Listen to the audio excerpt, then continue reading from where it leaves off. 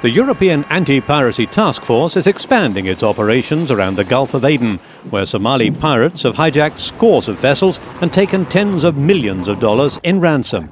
For Europol TV, Alessandro Pavoni joined the French frigate De Grasse on patrol.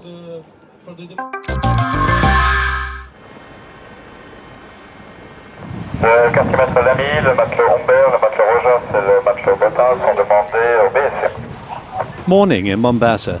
As the De Grasse prepares for sea, her helicopter team finished preparations for a surveillance flight. Europe's naval force has up to 12 warships and several aircraft deployed at any one time. Working with their NATO allies, their mission is to protect vulnerable merchant vessels and fight piracy off the dangerous shores of Somalia. So we can take off on alert after distress call of one vessel. And so we, we go there and we show if there is a suspected uh, pirates near a vessel. And after we, we take a photo and we call the, our ship if there is something suspect. The helicopter is crucial when it comes to identifying the small motorboats used by pirates. Its French crew is ready to take on an enemy who's proved both determined and organized, even firing rockets at the ships they're targeting. And should a pirate skiff try to attack the frigate itself, it will be a very unequal contest indeed. It's quite easy uh, to, uh, to do the differences uh, between uh, fishermen and pirates. Pirates usually use uh, tools uh, such as ladders, ammunition, weapons that are not used by fishermen. Since August, the De Grasse has been based in the port of Mombasa, patrolling the Gulf of Aden. The uh, different mission of uh, the EUNAVFOR. The first one is to escort uh, the convoy from uh, the World Food Programme.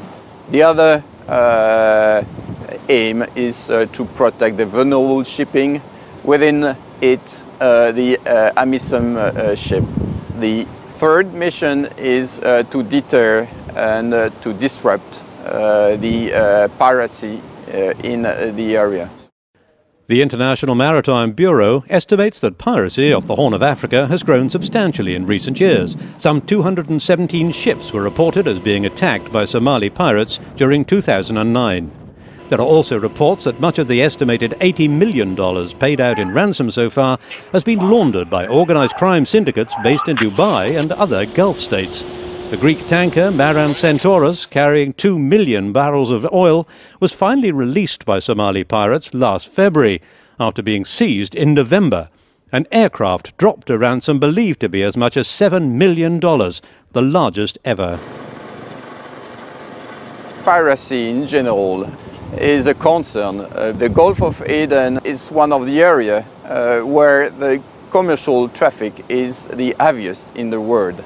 If there is a threat against uh, this uh, commercial traffic, that may have a huge impact on the uh, European uh, market. We didn't come across any pirates during our day aboard the French warship, but during the long hours at sea, I did have the opportunity to hear a different point of view about piracy. Mohammed Garani Adan is a Kenyan journalist with Somali roots who reported from Somalia for the humanitarian news service IRIN. Many people in Somalia believe that piracy uh, has been related with their normal life. They have seen that piracy is the only choice. There are vessels, uh, attackers from uh, other countries coming to the shore of Somalia, dismantling their livelihood as they think. We are not pirates, we are coastal guards by, by means. Fighting with the pirates by gun is not the solution. You cannot kill the snake on the head before finding his where the head is.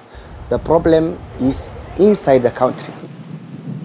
Piracy is still increasing. The challenge for the European Union will be to stop, to deter, and to disrupt not only the pirates, but also their support in the region.